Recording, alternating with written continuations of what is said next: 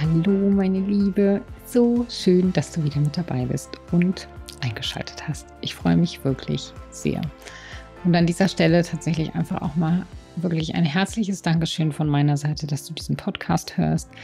Ähm, vielleicht hast du ja auch schon irgendwo eine Bewertung dagelassen oder jemand den Podcast empfohlen oder auf Instagram was geschrieben, egal wie.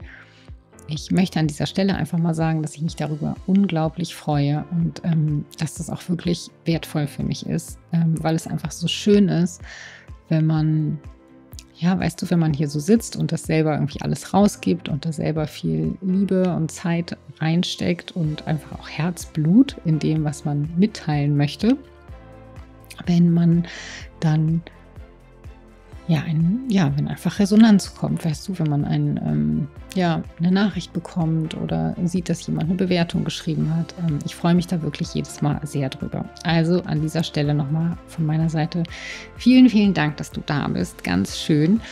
Ähm, und ja, ich hoffe, dass diese Folge dich ähm, tatsächlich auch wieder inspiriert. Es wird eine kürzere Folge. Ähm, ich glaube, ich habe schon ein paar Mal immer gesagt, ja, ja, heute wird es eine kürzere Folge und dann war es doch nicht so kurz. Aber bei dieser habe ich in der Tat das Gefühl, sie wird ein bisschen kurz oder ein bisschen kürzer, weil ich dir tatsächlich eigentlich nur einen relevanten Impuls mitgeben möchte. Und zwar eine Sache, die mich in den letzten zwei Wochen ja, ungefähr in den letzten zwei Wochen, vielleicht auch ein bisschen länger, sehr beschäftigt hat und wo mir immer mal wieder Sachen auch über den Weg gelaufen sind und sich das, weißt du, wie so ein Mosaik tatsächlich irgendwann geformt hat zu einer neuen Erkenntnis.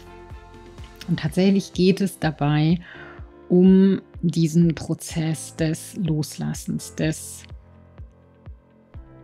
sich dem Fluss des Lebens hingeben. Ähm, und ähm, ja, insofern würde ich sagen, fangen wir damit auch einfach, starten wir direkt mit der Folge. Genau, also ähm, dieses Experiment, genau, ich hatte das, glaube ich, ja in einer der letzten Folgen eben auch dieses Buch Experiment Hingabe. Vielleicht war das auch einfach der Anstoß, aber nennen wir es mal jetzt gar nicht Hingabe, sondern vielleicht einfach so ein Stück weit loslassen. Und ich weiß nicht, wie es dir geht, aber wenn du jetzt irgendwie so in dich reinhorchst und mal reinspürst, wie es dir so geht mit allem, was du machst, ähm, zum Beispiel in deinem Business, ähm, wie sehr du dich wahrscheinlich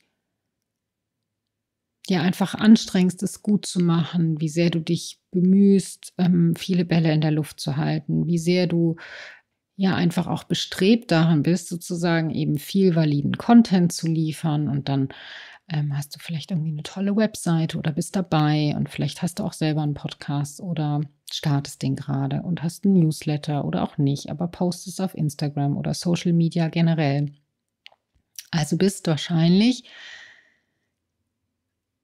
prinzipiell schon dabei, sehr aktiv zu sein mit dem, was du tust, mit dem, was du nach draußen bringen willst und alles natürlich auch in dem Bestreben, dass alles das, was du tust, dann einen Wert für dich kreiert. Also am Ende glückliche Kunden, Geld, mehr Freiheit, mehr Leichtigkeit und einfach das, dass dein Business dir eine neue Art des Lebens ermöglicht. Und jetzt darfst du ja mal kurz irgendwie da so in dich reinspüren, wie oft du dir vielleicht irgendwie so ein Stück weit wünscht, loslassen zu können. Mal sozusagen durchzuatmen. Und also ich kann jetzt gerade schon, weil dieses Thema gerade so präsent ist und weil es auch bei meinen Kunden ähm, tatsächlich präsent war in den letzten Wochen, ich kann jetzt schon die Enge wieder in meinem Brustkorb spüren. Dieses, wenn dann da so viel Druck auf dir lastet, dass du, dass du dieser Performance-Druck am Ende. Und dann ist es auch egal, ob wir jetzt sagen, wir sind in der, wir sind irgendwie total personal developed ähm, in der Coaching-Branche und wir können das alles total reflektieren und wir sind irgendwie immer gut gelaunt und wir, ähm, wir können das alles analysieren und wir können uns dissoziieren, damit wir dann auf uns drauf gucken. La, la, la, la, la. Wenn du das jetzt einfach mal weglässt und einfach nur mal in dich reinspürst, wie viel Druck da trotzdem vielleicht wieder ist, wie viel Leistungsdruck eben, wie viel Umsetzungsdruck, wie viel Performance-Druck, wie viel ja, wie viel To-Do-Liste am Ende du jetzt auch mit deinem Business mit dir rumträgst und dem, was du irgendwie leisten willst, in der Annahme, dass dieses ganze Leisten, ich muss wirklich schon durcharbeiten, dieses ganze Leisten dir dann eben die Ergebnisse bringt, die du gerne haben möchtest. Also Kunden, Geld, Freiheit, Flexibilität, Glück, Erfüllung am Ende, weil hinter allem steht ja ein Gefühl. Hinter allem steht ja irgendwas. Die geht es ja nicht darum, dass du eine Zahl auf deinem Konto siehst, sondern du die, diese Zahl oder die du da im Kopf hast, die gibt dir ja irgendwie ein bestimmtes Gefühl, ein Gefühl von, von Sicherheit, ein Gefühl von Glück, ein Gefühl von ich habe es geschafft, von Stolz, von Freiheit und so weiter. Also das ist ja nochmal ein anderes Thema. Aber es geht ja immer um das Gefühl dahinter oder die Bewertung, die du dann darauf hast. Ne? Und die Bewertung gibt dir dann ein Gefühl, weil der Geldschein an sich ist irgendwie auch nur Papier, aber der Wert dahinter, den du ihm dann gibst, dieses von wegen, das ist jetzt viel, dann fühle ich mich reich, dann habe ich es geschafft, dann bin ich stolz, dann bin ich erfolgreich, das meine ich. Genau. Aber das ist jetzt sozusagen der Nebenschwenk, dieses, dass du da nochmal reingehst, irgendwie, was das dann für dich eigentlich für ein Gefühl kreieren soll und wie du dieses Gefühl vielleicht im Hier und Jetzt schon leben kannst. Weil Magic Trick, dann kommt's tatsächlich leichter. Aber dieser ganze Umsetzungsdruck, der da ist und wie sehr da vielleicht manchmal in dir diese stille und leise Sehnsucht ist nach, Mann, was wäre das schön, wenn ich einfach mal loslassen könnte, wenn ich einfach quasi mich hingebe, wenn ich ein bisschen mehr Vertrauen habe, wenn es einfach alles fließt und wenn ich nicht ständig das Gefühl habe, mehr machen zu müssen, mehr initiieren zu müssen, mehr leisten zu müssen. Und das, was ich tatsächlich irgendwie so augenöffnend fand in den letzten Wochen und was mir einfach nochmal so bewusst geworden ist, auch wenn ich irgendwie meine eigene Reise angucke, ist auf den Punkt gebracht worden durch ein Zitat, was ich tatsächlich bei Gabby Bernstein gesehen habe. Die hat ja, ähm, die hat ja auch mehrere Bücher geschrieben und die hatte irgendwie sowas, wo ich glaube, es war eine Karte. Und diese Karte war To begin the practice of allowing, I must get out of the way and let spirit give me direction. Und es ist jetzt egal, wie du Spirit definierst. Und ich meine das jetzt auch nicht unbedingt christlich oder kirchlich oder also du kannst es genau so nehmen, wie es du kannst statt Spirit nehmen, Universum, dein Higher Self, was auch immer mit dir am besten in Resonanz geht. Aber der Kern dieser Aussage und das, worum es geht, ist, damit du überhaupt ankommen kannst in diesem Loslassen, in diesem geführt werden, in diesem, dass sich alles Stück für Stück entwickelt, und dass es sich dann auch leichter anfühlt und irgendwie vielleicht auch wirklich glücklicher und erfüllter in dem Moment und nicht erst, wenn du dein Ziel erreicht hast, dafür darfst du überhaupt erstmal aus dem Weg gehen. Und was meine ich damit? Damit meine ich, dass du sozusagen aufhörst, quasi die, diese Art und Weise an den Tag zu legen, wo du dir in deinem kleinen Kopf irgendwas überlegst, wie du zu deinem Ziel kommst und wie es zu laufen hat und wie es vermutlich am erfolgreichsten ist und wie es alle anderen machen und wie Erfolg nun mal funktioniert oder was wir nicht alles gelernt haben. Weil das hält dich sozusagen fest. Das ist dieses Krampfige, das ist dieses Verbissene, das ist dieses ähm, Festhalten an dem Alten, festhalten an dem, was die Logik, der Verstand oder die auch irgendwie einfach die Gesellschaft erzählt, wie es funktioniert, wie angeblich der Weg ist, der dann für alle funktioniert. Und von diesen Wegen gibt es ja irgendwie ganz unterschiedliche, je nachdem, wem du halt zuhörst und wer was wo wie propagiert. Und das, was ich dir aber sagen möchte, ist, dass All das ist sozusagen ein Festhalten an einem vermeintlich sicheren Weg, der dich daran hindert, dass du auf deinen Weg kommst. Und dass es sich für dich gut anfühlt. Und vielleicht fragst, kannst du dich auch gerade mal fragen, wie oft du zum Beispiel nach irgendwelchen Zeichen fragst. weil du gerne das Gefühl haben möchtest, ich bin auf dem richtigen Weg, das ist jetzt das, was ich machen sollte. Soll ich jetzt das und das buchen? Soll ich das und das machen? Ist die und die Person richtig für mich oder nicht? Und dann fragst du nach Zeichen. Und nach Zeichen fragst du nur, weil du noch nicht an dem Punkt bist, wo du dir und deiner inneren Guidance komplett vertraust. Weil du was hast, wo du sagst, okay, ähm, wenn ich jetzt den und den Weg einschlage, wenn ich jetzt das und das buche, wenn ich jetzt die und die Reise mache, dann brauche ich sozusagen im Außen eine Bestätigung, dass das das Richtige ist. Und am Ende geht es einfach darum, dass Allowing ist, dass du einfach zu 150 Prozent akzeptierst, dass du dieses Guidance System in dir trägst. Dass deine Gefühle, deine Intuition, dein Bauchgefühl, dein deine Ahnung, dein, wo du dich hingezogen fühlst oder wovon du dich auch irgendwie, du musst dich noch nicht mal abgestoßen fühlen, aber vielleicht irgendwas, was einfach nicht mit dir in Resonanz geht, dass du das dann einfach lässt. Und lass mich das jetzt irgendwie sozusagen mal ein bisschen konkreter machen, damit du verstehst, was ich meine. Also nehmen wir mal an, du bist ähm, Business Owner. Und jetzt läuft dir irgendwie ein ähm, Training über den Weg, wie du super verkaufen lernen kannst. Und dann wird das sozusagen propagiert als Weg zum Erfolg.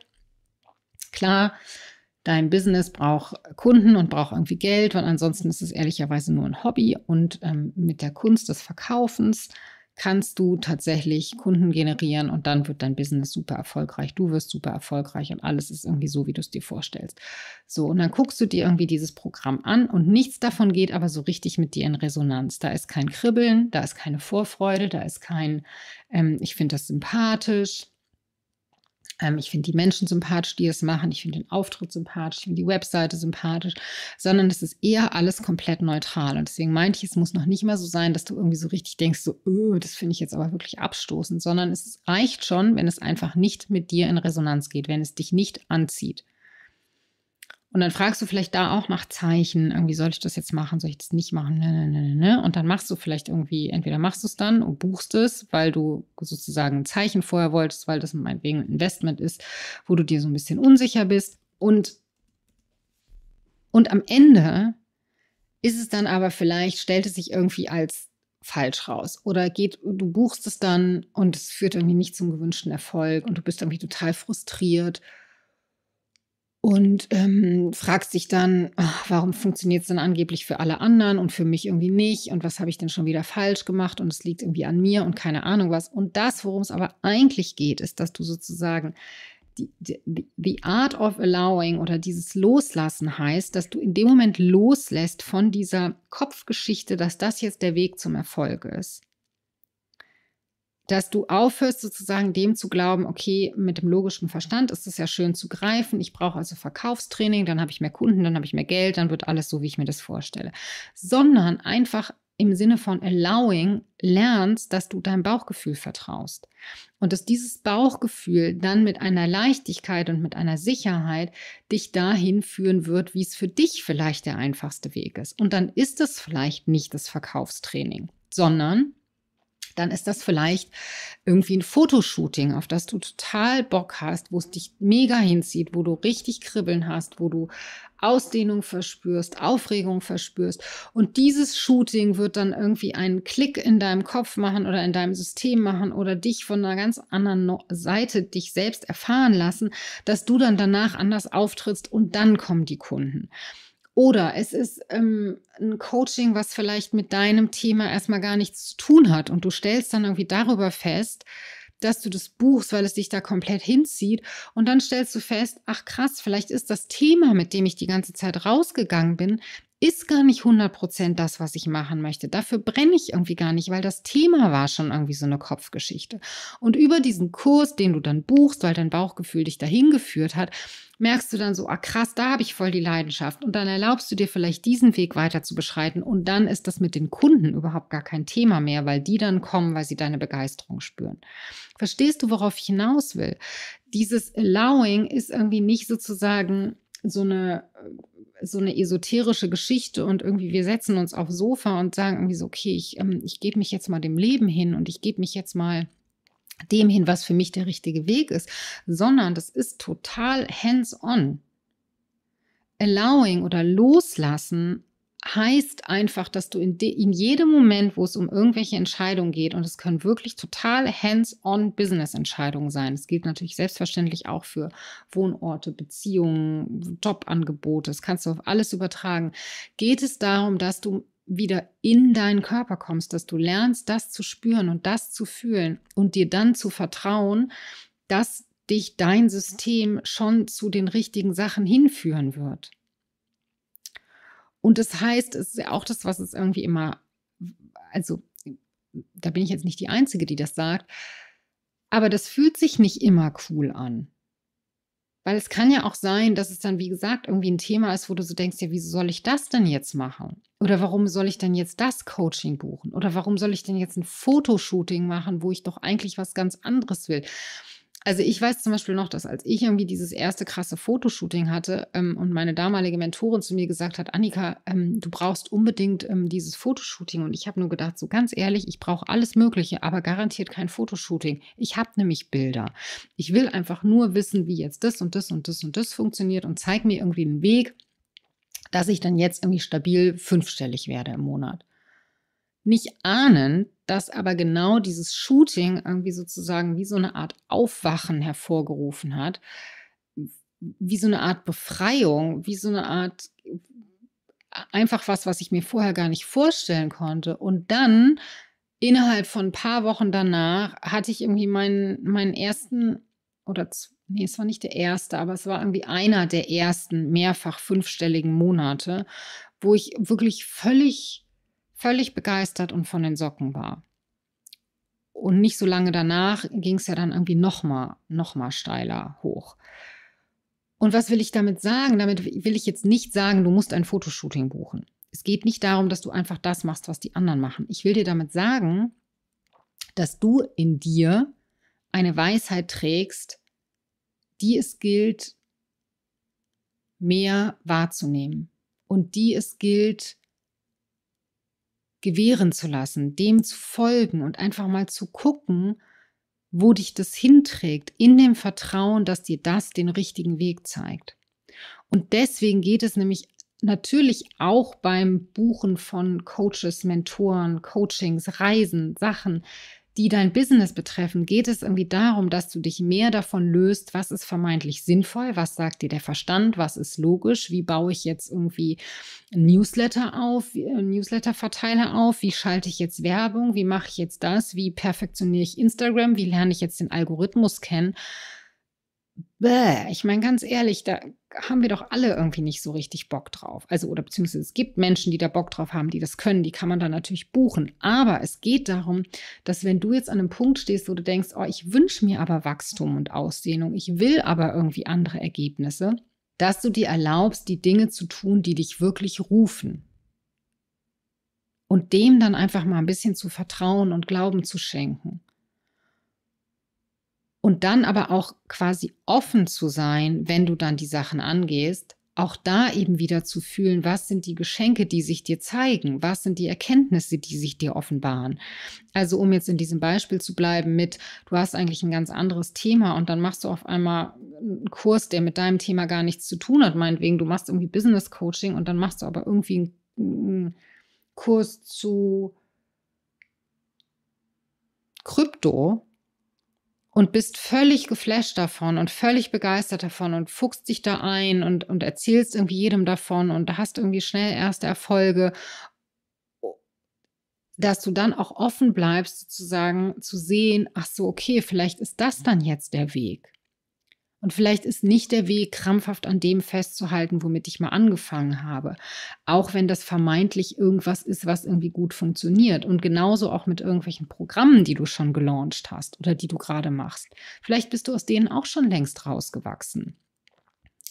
Und dann ist dieses, dieses Loslassen eben da auch, dass, dass du wirklich das Alte bereit bist loszulassen, dass du bereit bist, aus dem Weg zu gehen. Und aus dem Weg gehen heißt eben genau, dass du eben nicht nur den Verstand und die Logik entscheiden lässt, sondern dich einfach ein Stück weit mal auf diese Reise einlässt und auf dieses geführt werden einlässt und auf das, was dann daraus alles Magisches entstehen kann.